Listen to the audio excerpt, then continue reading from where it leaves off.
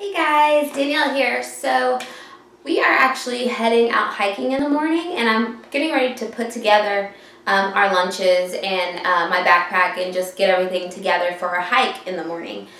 But before I do that, I thought that I would come and talk to you guys about some of the stuff that we use on our hikes because right now our goal is to hike Oklahoma.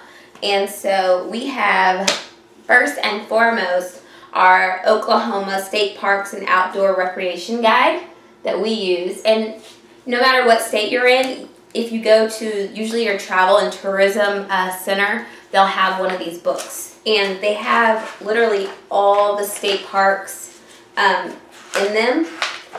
Where we're heading out tomorrow is a place called Alabaster Caverns. And we're going to go and look at, um, at the different caves because we haven't been to caves uh, in a while. And so the different caves are going to have like bats and things like that. So that should be really, really cool.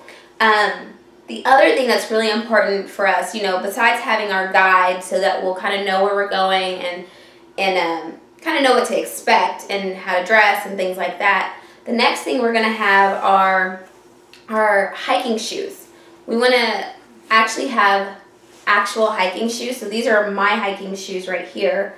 And then this is my son's hiking shoe, as you can see right here. Um, the reason we use actual hiking shoes instead of, say, like tennis shoes like this is because if you look at, you know, the the sole of the shoe, these shoes have are made for hiking trails and things like that. So they have um, they're kind of rough on the bottom to give you traction on like slippery rocks and and everything. And if you look at these kind of shoes, these are made for running, and so they're they're smooth on the um on the sole. So I'll just show you like this. If you look, you may I don't know if you'll be able to see it, but you can kind of tell the difference in the sole of the shoes from this is the hiking shoe and this is the running shoe. Um, so we have our our hiking shoes. And then the next thing we have is our first aid kit. It's very, very important if you're going to go out on a hike to have a first aid kit. This first aid kit comes with, you know, like sting relief type uh, antiseptic and pain reliever, different antiseptic wipes. It also comes with uh, waterproof matches antibiotic um, cream or ointment.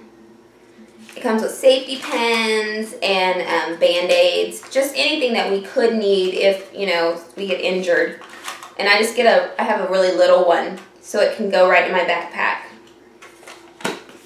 And then we have our flashlight, and I just use a, a small one. We're usually not out at night because my son is only five. I don't like to do anything in the night at nighttime, but we are going to go into caves and things like that, so it'll be good for us to have our flashlight.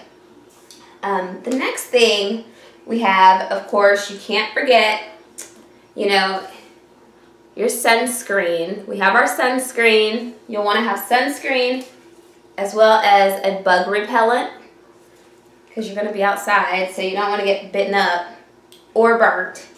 So then we also have, I just recently got this one, but you'll just get like a pocket knife just just in case. You never know when you might need it. And as a single mom who goes hiking, it's good to have just a small pocket knife. Uh, a pocket knife, a hunting knife, any of those things would, would do.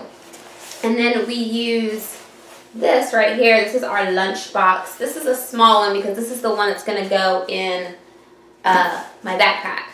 Normally we have our big cooler, which I have right now in our kitchen because I'm packing it and that's going to have all the ice and everything in it. But once we actually start on our hike, the sandwiches and stuff are going to go into this.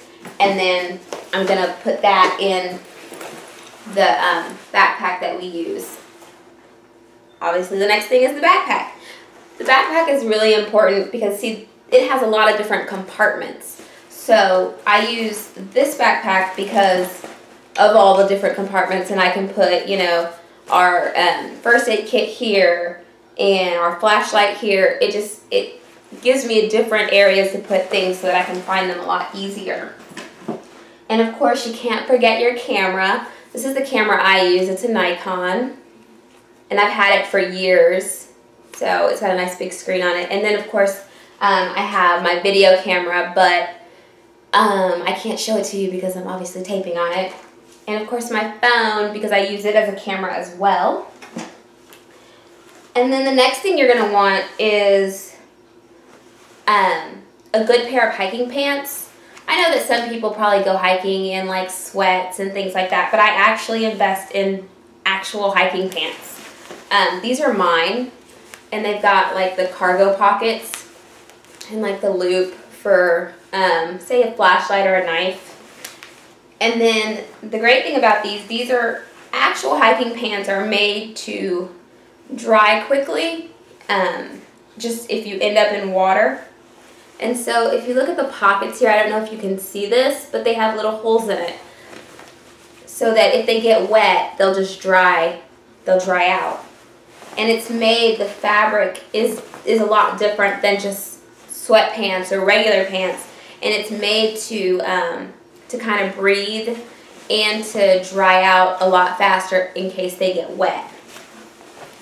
Now these kind of hiking pants are kind of pricey, this particular brand, but you can get any kind. Like the ones that I got, I just bought some new hiking pants today, and these are just really, really lightweight um, pants, but they're the same kind of breathable uh, material. These are Magellan, yeah, these are Magellan uh, pants.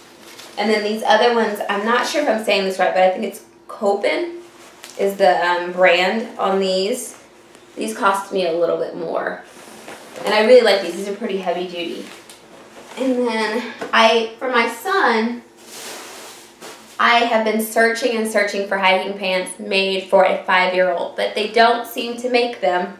Uh, so what I use instead are just um, cargo shorts, just like this. I use these cargo shorts for his, um, they're like Wrangler cargo shorts. But I use these um, for our hiking because these will work really well too. Sometimes I'm kind of leery about putting him in shorts because, you know, just in case something's going scratches him or bites him or something. I, I like his legs to be protected.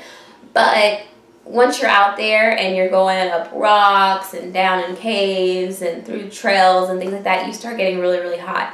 So it's best to obviously wear shorts or pants made for hiking um, because you want to be able to um, cool down and breathe. You want some breathable fabrics.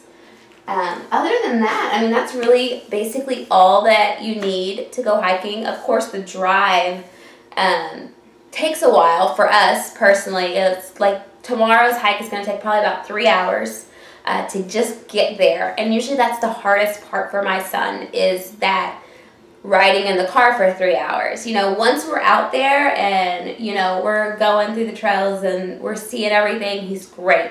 So, you know, you might also want to take um, a tablet or a cell phone or something that your kids can play on or watch on the drive out to wherever you're going. I know that when we lived in Seattle, we actually lived right on, like off of a trail, and so we could go hiking every single day. Now we kind of have to, we have to limit it to um, just on the weekends because it takes us so long to get to where we're going.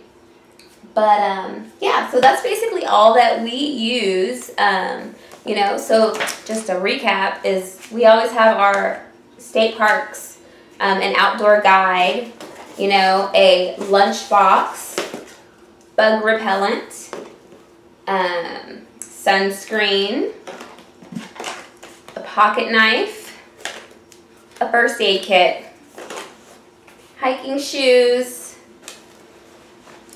hiking pants, um, flashlight, a nice sturdy um, backpack with lots of compartments, and of course you have to have a camera so that you can take pictures of everything that you see.